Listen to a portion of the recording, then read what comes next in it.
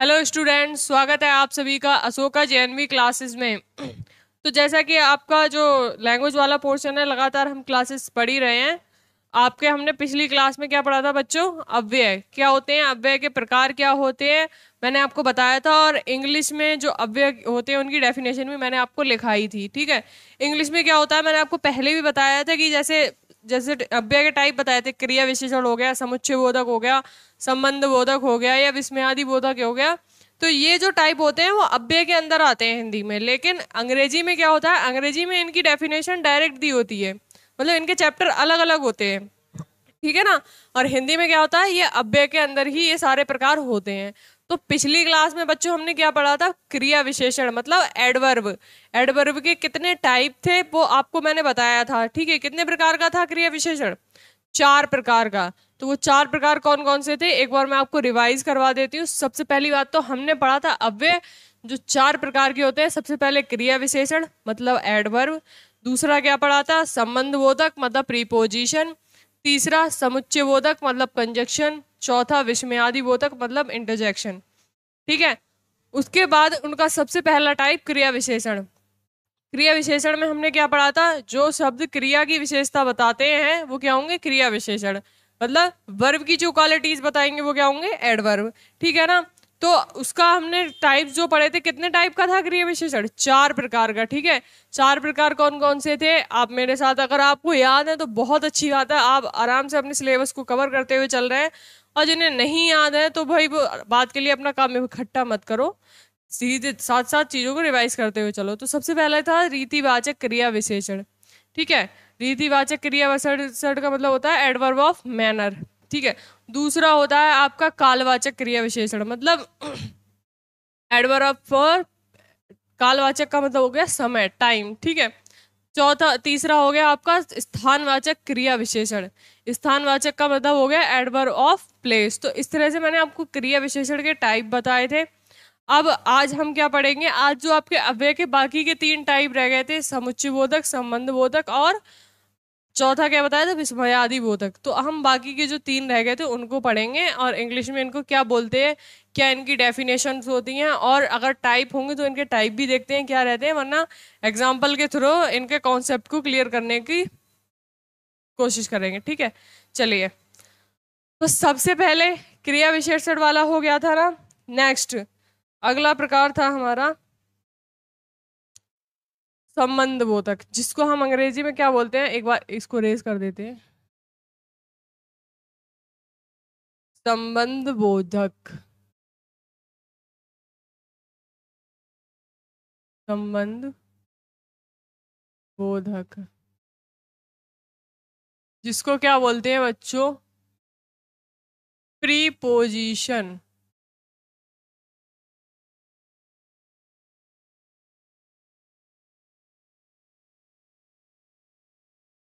Preposition ठीक है? तो आपने अपने जो फिफ्थ क्लास में इसमें भी पढ़े होंगे, आपने क्योंकि ये सारे टाइप दिए होते हैं वहाँ पे भी। तो संबंध बोधक क्या होता है? क्या इसकी डेफिनेशन होती है? वो एक बार समझ लो। संबंध बोधक का मतलब संबंध। प्री का मतलब पहले पोजीशन का मतलब स्थिति। अब समझ लो, ऐसे शब्द जो संज्ञा या फिर सर्वनाम, ऐसे शब्दों के बाद लगकर, ठीक है? बाद में लगकर क्या बताते हैं? उन वाक्यों का संबंध मतलब जो शब्द होते हैं, संज्ञा या सर्वनाम, उनके बाद में लगकर बाकी की जो बाकी का सेंटेंस है, उससे रिलेशन बताते हैं मतलब संबंध बताते हैं तो वो क्या होते हैं? संबंधवाचक शब्द कहलाते हैं, ठीक है ना? ऐसे ही अंग्रेज़ी में क्या होता है? अंग्रेज़ी में प्रीपोजिशन इसलिए बोला जाता है इन्हें क्योंकि ये नाउन और प्रोनाउन के पहले लगते हैं। जैसे मैंने बोला आपसे कि कोई एक एग्ज़ाम्पल लिख लिया कि पेड़ के नीचे गाय है। तो अब आपने पेड़ पेड़ क्या है? संज्ञा, पेड़ के। के क्या कर रहा है? उस वाक्य को जोड़ रहा है, जैसे यहाँ पे लिख लो, ठीक है? मैंने लिखा पेड़ के नीचे गाय है। ठीक है? अब यहाँ पे क्या है? पेड़ क्या है? संज्ञा। के, अगर यहाँ से हटा दोगे तो क्या आ जाएगा? पेड़ नीचे गाया थोड़ा ऑकवर्ड सा लगेगा ना, और लगेगा सेंटेंस लेकिन जैसे ही हम के लगाएँगे तो क्या हो जाएगा? एक ये शब्द हो गया, संज्ञा है या फिर सर्वनाम, कुछ भी हो सकता है। बाकी का सेंटेंस क्या है? ये है। तो इसको क्या कर रहा है? जोड़ने का काम कर रहा है। और कहाँ लगा है? संज्ञा या सर्वनाम के बाद में लगा हुआ है। ऐसी मैंने एक इंग्लिश में एग्ज़ाम्पल ले लिया कि इसको लिख देते हैं, the cow the cow the cow नहीं होगा, there is a cow under the tree. ठीक है? तो अब यहाँ पे देखो, यहाँ लिखा है there is a cow under the tree अब ट्री कहाँ है? नाउन कहाँ पहुँच गया? लास्ट में। लेकिन प्रीपोजिशन कौन सी हो गई? यही तो आएगा अंडर द ट्री तो ये है प्रीपोजिशन आपकी। क्योंकि अगर हम हटा देंगे अंडर ट्री लिख देंगे तो क्या होगा? सेंटेंस इनकम्प्लीट तो माना जाएगा ना? लेकिन कंप्लीट कौन कर रहा है? मतलब जोड़ कौन रहा है? ठीक है? तो ये क्या हो जाएगा आपका प्रीपोजिशन। क्या हो रहा है यहाँ? प्री का मतलब पहले, संज्ञा या फिर सर्वनाम से पहले जोड़ रहा है। इसीलिए क्या हो जाएगा? प्रीपोजिशन। तो चलो डेफिनेशन लिख लो। किस तरह से लिखना है? ऐसे शब्द।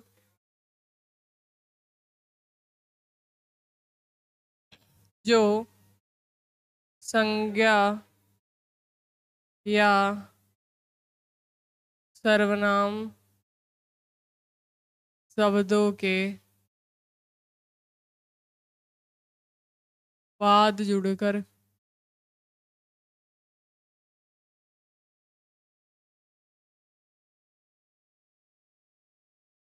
अन्य शब्दों से वाक्य के अन्य शब्दों से संबंध बताते हैं।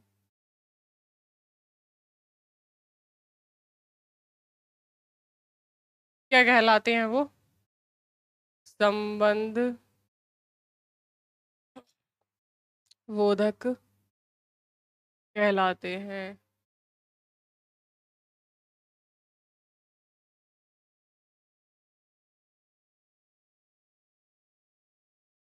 ठीक है तो ऐसे शब्द जो संज्ञा या सर्वनाम शब्दों के बाद क्या होंगे, जुड़ जाएँगे और बाकी के बाकी के शब्दों से उसका संबंध बताएँगे तो क्या होंगे, संबंध बोधक। जैसे, अब अंग्रेज़ी वाले बच्चों, आप भी डेफिनेशन लिख लो। Preposition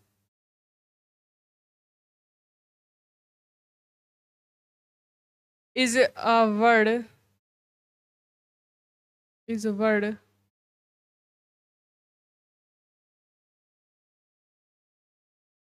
Placed before.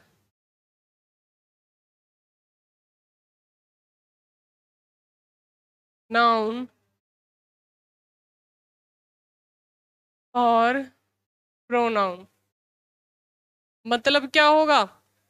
नाउन और प्रोनाउन से पहले जुड़ेंगे और क्या बताएँगे? To show its relation relation with some other words of sentence ठीक है? सेम यही है, बस क्या है, यहाँ पे प्री लग गया है मतलब नाउन और प्रोनाउन के पहले, ठीक है बिफोर तो जो नाउन और प्रोनाउन के पहले लगे, लगेंगे और क्या बताएँगे? जो बाकी के अन्य शब्द हैं, उनसे क्या बताएँगे? बाकी में रिलेशन बताएँगे तो क्या हो जाएँगे वो? प्री पोजिशन कहलाएँगे, सही है? अब मान लो, हमने लिख दिया यहाँ हम रात में मिले। अगर यहाँ से मैं मे को हटा दूँ तो क्या होगा? ये वाक्य ऑड हो जाएगा और इनको फिर जोड़ेगा कौन? ठीक है, क्योंकि तीनों क्या हैं? अलग अलग शब्द है ना। जैसे ही हमने यहाँ लिख दिया मे तो ये एक हो गया, एक ये पोर्शन हो गया, दोनों को क्या कर रहे हैं? जोड़ रहा है तो क्या हो गया? में। सही है। तो ये क्या होगा आपका? प्रीपोजिशन ऐसे ही अगर इसको इंग्लिश में लिखोगे क्या? वी मैट एट नाइट ठीक है? अब यहाँ क्या है? नाइट रात का मतलब संज्ञा ही तो होता है। तो संज्ञा के क्या लगा है? बिल्कुल पहले। और क्या कर रहा है? जोड़ रहा है ना? वाक्य के एक शब्द को मतलब संज्ञा या सर्वनाम को किससे जोड़ रहा है? बाकी के पोर्शन से, वाक्य के। ठीक है? दूसरा एग्ज़ाम्पल लिख लो। मैंने बोला, किताब, मेज, पर रखी है। ठीक है? अगर मैं यहाँ से पर हटा दूँ, ठीक है? किताब मेज रखी है तो कोई वाक्य बन रहा है? नहीं बन रहा है ना? और मेज क्या है? संज्ञा। संज्ञा के ठीक बाद में लग रहा है ना? ठीक है? अब इसको इंग्लिश में कन्वर्ट करके लिखो तो लिखोगे? The book is on the table या ऑन टेबल भी लिख सकते हैं, ठीक है? तो अब ये बताओ टेबल कहाँ लास्ट में मतलब नाउन कहाँ हो गया लास्ट में? और उससे ठीक पहले लगाया ना तो क्या हो गया? प्रीपोजिशन और संज्ञा सर्वनाम को बाकी के अदर सेंटेंस से भी जोड़ रहा है तो प्रीपोजिशन हो जाएगा ऑन ठीक है? अगला तो मैंने आपको पहला एग्ज़ाम्पल तो बता ही दिया था, पेड़ के नीचे गाय बैठी दोनों में डिफरेंस भी बता दिया था। एक एग्ज़ाम्पल और लिख लो। मैंने लिख दिया ज्ञान के बिना जीवन बेकार है।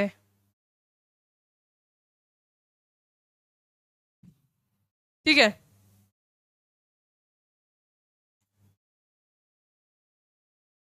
तो यहाँ से अगर के बिना, या के ही हटा दो बस। ठीक है तो क्या होगा? वाक्य को कौन जोड़ेगा? देखो, संज्ञा तो है हमारे पास ज्ञान। इसके बाद में क्या लगा है? ये लगा ना के या के बिना तो ये क्या हो जाएगा? बाकी के अदर जो वर्ड्स हैं जो जो भी तीन चार वर्ड हैं, इनको क्या कर रहा है? जोड़ रहा है संज्ञा के साथ में। तो क्या है ये? संबंध बोधक। अब इसको इंग्लिश में लिखोगे तो क्या लिखोगे? Life without knowledge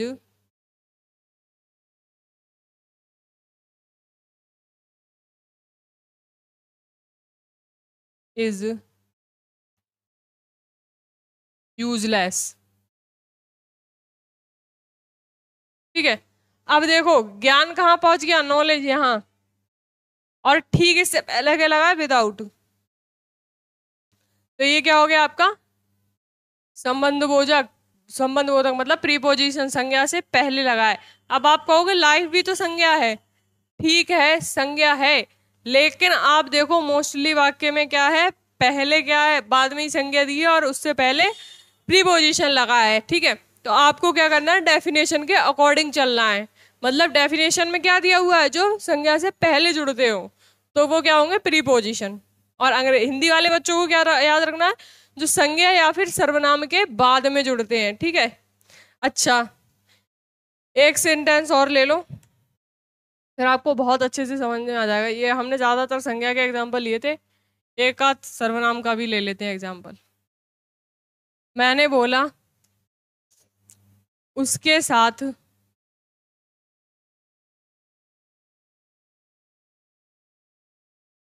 बच्चे भी आए हैं। अब ये बताओ, यहाँ पर जो ये है ना, उस, ये क्या है? सर्वनाम, ठीक है? और इसके ठीक बाद क्या लगा है? के। ये क्या कर रहा है? बाकी के जो अन्य शब्द है, उनको क्या कर रहा है? सर्वनाम के साथ जोड़ रहा है। अगर इसको इंग्लिश में लिखोगे तो क्या लिखोगे? His children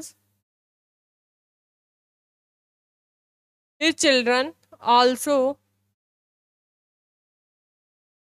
come with him ठीक है? तो अब क्या हो गया? यहाँ पर क्या हो गया? हिम कहाँ पहुँच गया? उसके साथ। मतलब हिम यहाँ आ गया लास्ट में और उससे पहले क्या लगा है प्रीपोजिशन विद तो ये क्या कर रहा है? हिम को वाक्य के मतलब सेंटेंस के अदर जितने भी वर्ड है, उनके साथ क्या कर रहा है? जोड़ रहा है। तो वो क्या हो जाएगा आपका? प्रीपोजिशन ठीक है ना? तो अब आपको अच्छे से समझ में आ गया होगा कि संज्ञा या सर्वनाम के बाद में जुड़कर जो बाकी के अन्य शब्दों से संबंध बताएँगे, संबंध बोधक कहलाएँगे और इंग्लिश में क्या करना है? नाउन और प्रोनाउन से क्या होंगे? पहले लग रहे होंगे मतलब बिफोर नाउन और प्रोनाउन उससे जुड़कर बाकी की बाकी शब्दों से जो संबंध बताएँगे, वो क्या होंगे? प्रीपोजिशन तो यहाँ पे आपका प्रीपोजिशन जो है, समाप्त होता है। अगला जो प्रकार था, उस पर चलते हैं।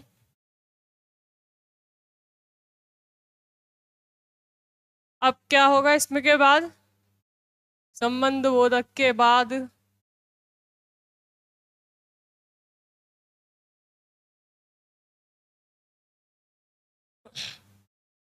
समुच्चय बोधक समुच्चय बोधक क्या होता है? क्या उसकी परिभाषा होती है? ये भी देख लेते हैं। ठीक है? तो लिख लो। समुच्चय।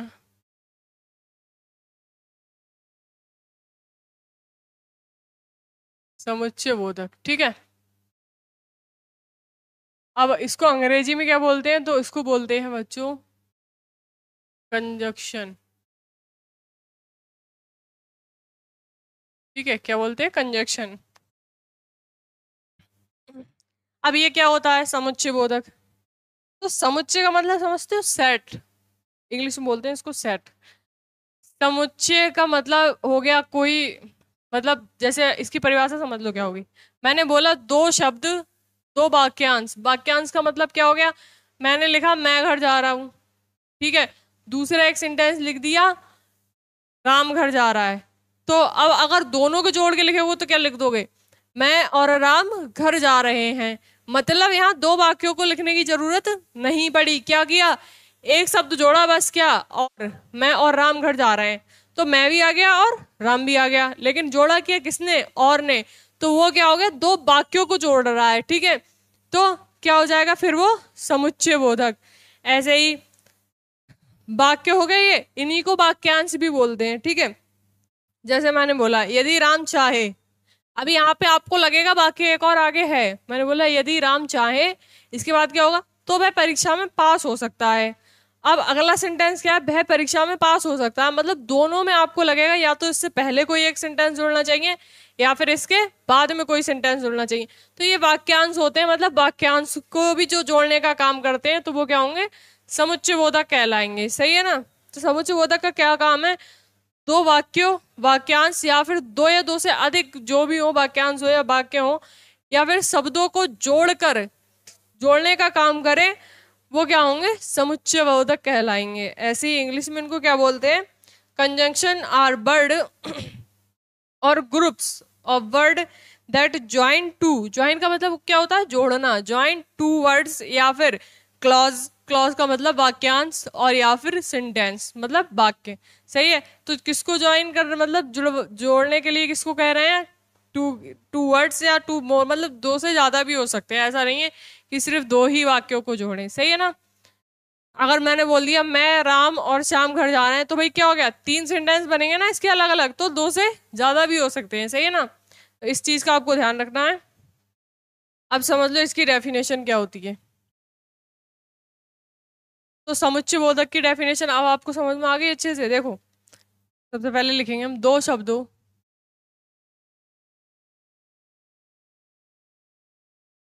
वाक्यांशों।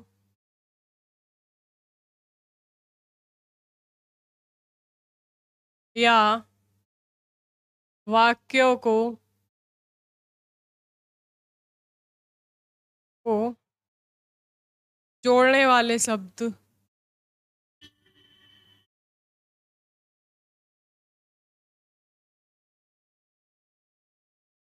क्या कहलाते हैं? समुच्चय बोधक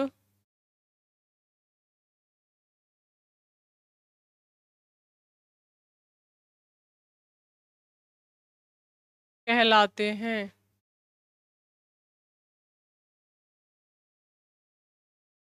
अंग्रेज़ी में अगर इसकी डेफिनेशन लिखोगे तो? Conjunction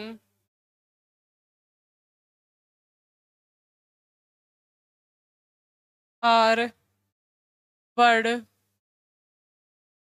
or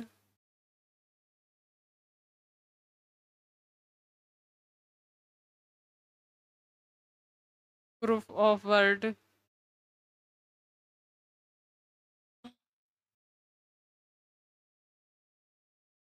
that join two or more or word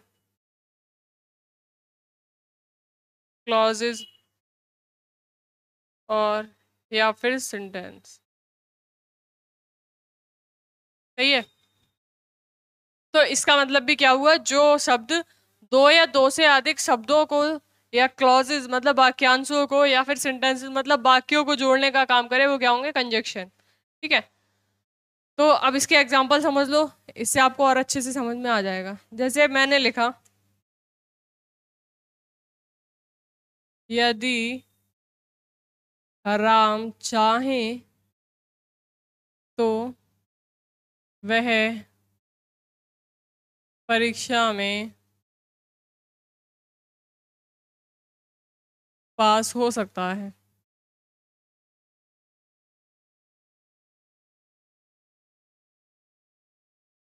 तो देखो, अब दो सेंटेंस बनना है ना, मैंने लिखा, यदि राम चाहे तो दूसरा सेंटेंस क्या है? वह परीक्षा में पास हो सकता है, ठीक है? दो को जोड़ने का काम कर रहा है कौन? एक, बस तो ठीक है? अगर इसको इंग्लिश में लिखोगे तो क्या हो जाएगा इसका मतलब? इफ़ राम या अंग्रेज़ी के दूसरे एग्ज़ाम्पल ले लेंगे हम, जिससे कि आपको और अच्छे समझ में आ जाएगा। अगर यदि वह पढ़ लेता तो तो क्या होता? फेल नहीं होता वो।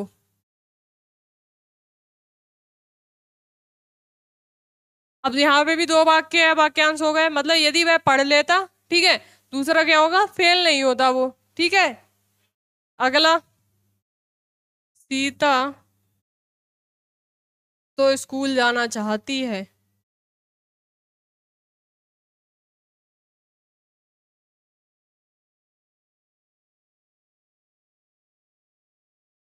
परंतु अनामिका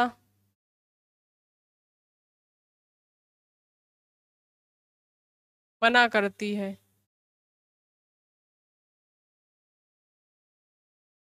सही है। तो यहाँ पे क्या हो गया? सीता तो स्कूल जाना चाहती है।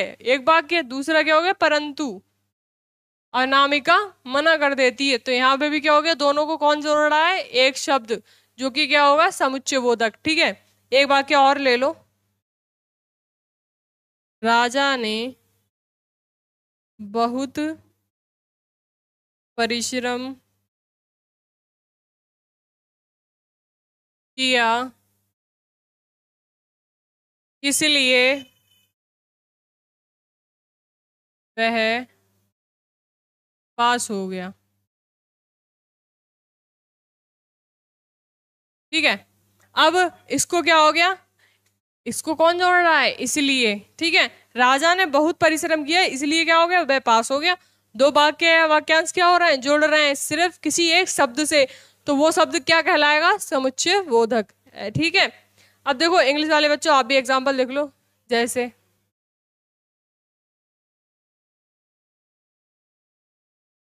देखो, कुछ वर्ड होते हैं, जैसे मैंने बोला ना, परंतु, इसलिए, और, ठीक है? तो ये सब क्या होते हैं? ये आपके ज़्यादातर कंजक्शन मतलब समु समुच्चय बोधक में ही यूज़ होते हैं। जैसे अंग्रेज़ी में बोलते हैं ना हम बट सो so, मतलब इसलिए बट का मतलब क्या होता है परंतु या फिर लेकिन कुछ भी बोल सकते हो और सही है। फॉर ठीक है येट तो ये मोस्टली क्या होते हैं कंजक्शन में ही यूज़ होते हैं। चलो अब बाकी ले लेते हैं।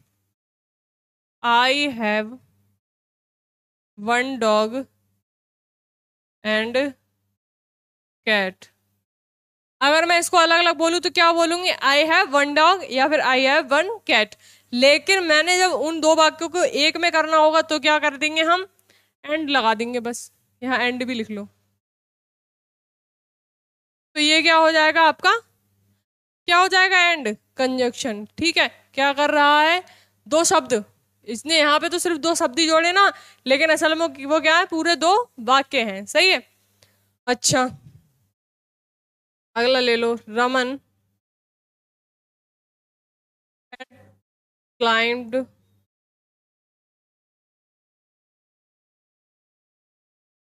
on the tree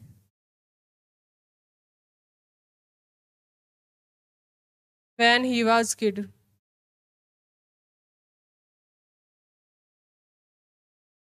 रमन क्या करता था? पेड़ों पे चढ़ जाता था। क्या? जब वह बच्चा था। एक तो हो गया वह बच्चा था और दूसरे सेंटेंस क्या हो गया? रमन पेड़ों पर चढ़ जाता था ऑन द ट्री देखो, अब यहाँ क्या हो रहा है? कौन जोड़ रहा है दोनों वाक्यों को? वैन तो ये क्या हो जाएगा आपका? कंजक्शन ठीक है? अच्छा अब अगला एक और सेंटेंस ले लो. You can lie live here until my friend come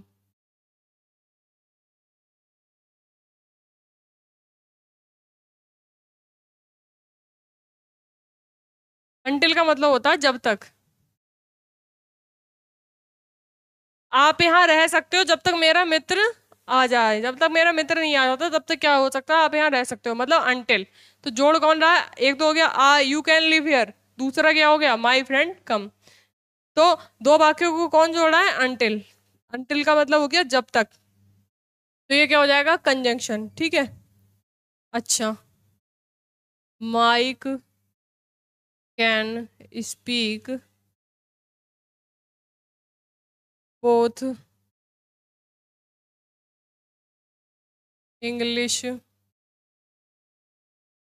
and Hindi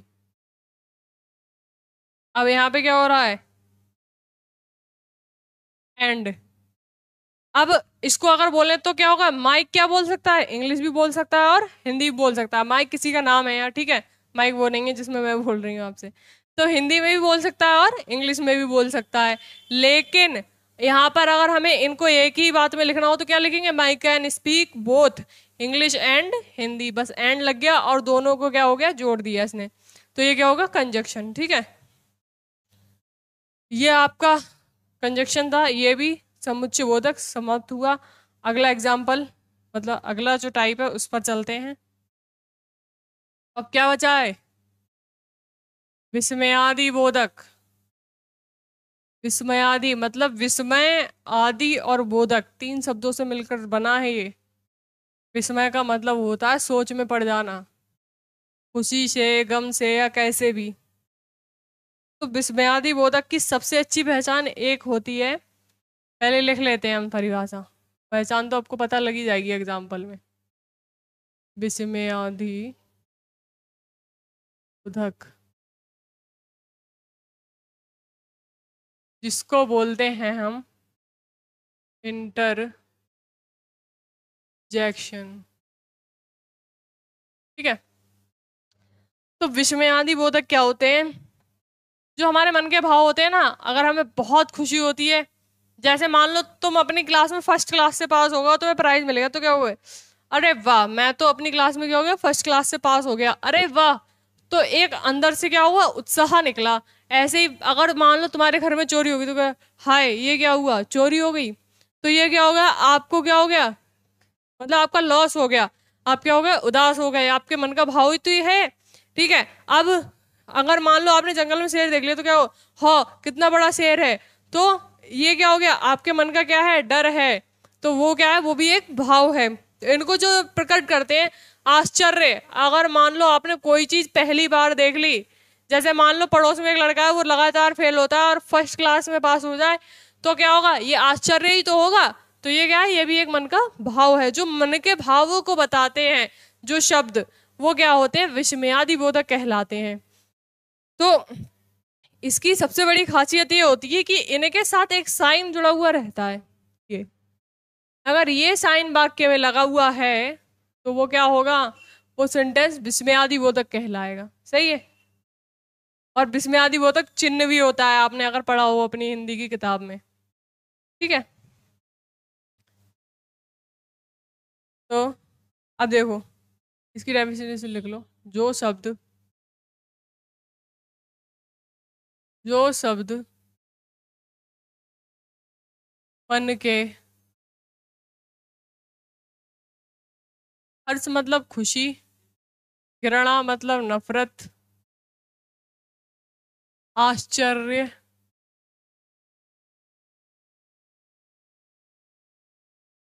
प्रशंसा मतलब तारीफ़ करना। आदि और लगा दो, क्योंकि मन में एक भाव नहीं आता है। मन में तो बहुत सारे भाव आते हैं। आदि भावों को प्रकट करें।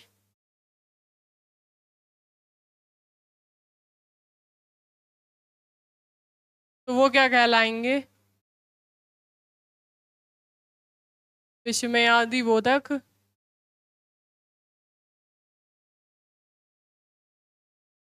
विस्मयादि बोधक शब्द कहलाते हैं।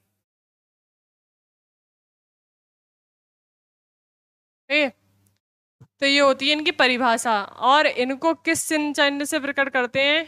इस वाले चिन्ह से। सही है। अब इसको अगर इंग्लिश में लिखोगे तो लिखोगे interjection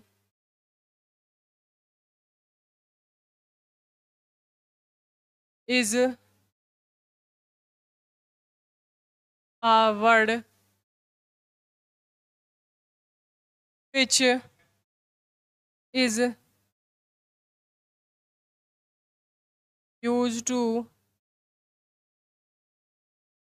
express express मतलब प्रकट करना. Sudden feeling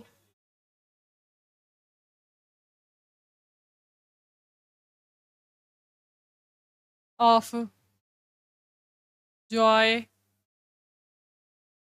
sorrow, wonder.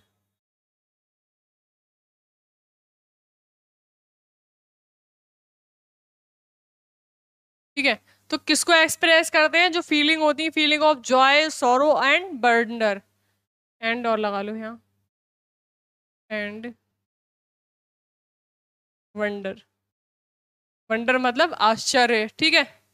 तो ये क्या हो जाएगा आपका? अब इसके एग्ज़ाम्पल समझ लो क्या क्या हो सकते हैं। एग्ज़ाम्पल कुछ नहीं, अगर आप इस वाले को पोर्शन को गलत करके आए मतलब जो बच्चा अगर बिस्मियादी बोधक को गलत करके आया तो समझ लो वो सारा पोर्शन गलत करके आएगा अपना। क्योंकि इससे सरल कोई डेफिनेशन है नहीं और ना इससे सरल अगर एग्ज़ाम्पल आ गया तो आपका एक दो नंबर फ्री का है बिल्कुल वो एक पॉइंट टू फाइव ठीक है? तो इसके एग्ज़ाम्पल के लिए मैंने आपको एक बात बताई ना साइन कौन सा लगा हुआ? ये लगा होगा, बस इससे पहचान पड़ जाएगी कि क्या है वो, विस्मयादि बोधक है, जैसे मैंने लिख दिया पहला सेंटेंस शाबाश। और आगे लगा दिया साइन तुमने तो कमाल कर दिया।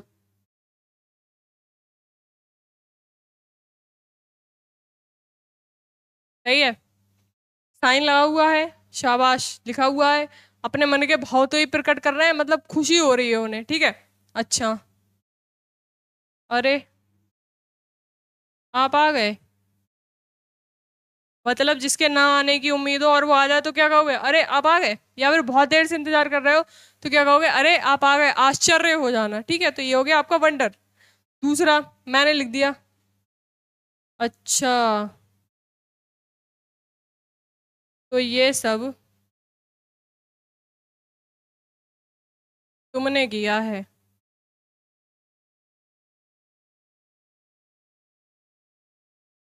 ठीक है, यहाँ पे लगा हुआ है? चिन्ह। और तो क्या हो जाएगा? बिस्मिल्लाह बोतल। अब मैंने बोला, वाह, कितना सुंदर दृश्य है। तो आश्चर्य तो हो रहा है मन को और आनंद मिल रहा है। सही है? तो ये क्या हो जाएगा? इसमें आदि बोधक, अगला। हाय। बेचारे के सारे पैसे चोरी हो गए। हाय मतलब दुख हो रहा है उसे कि उसके सारे पैसे चोरी हो गए। तो ये क्या हो गया? दुख का भाव प्रकट हो रहा है, सौरव हो रहा है तो ये भी क्या हो जाएगा?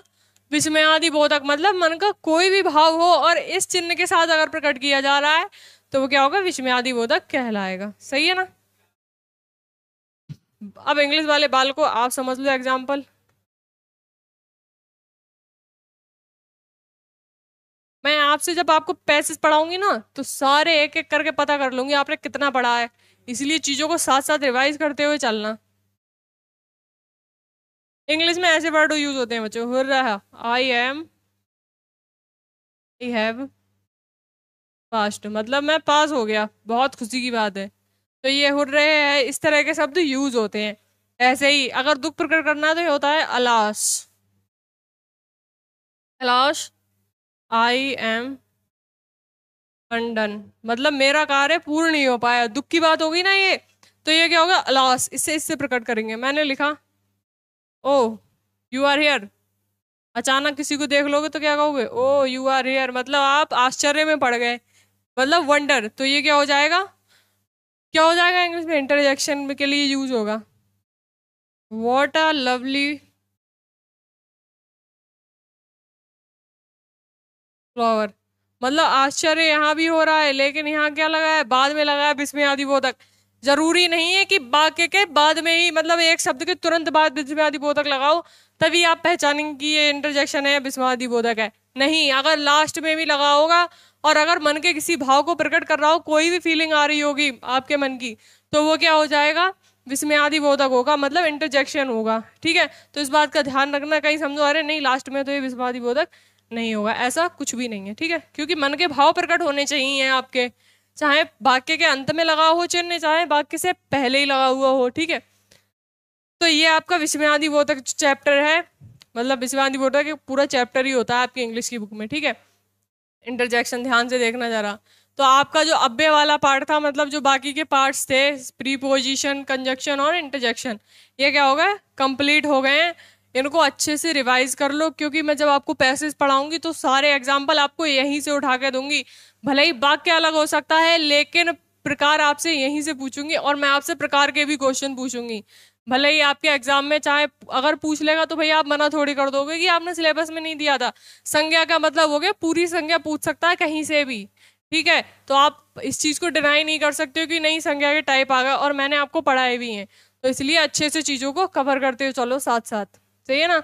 आज के लिए बच्चों इतना ही, तब तक के लिए bye bye good night take care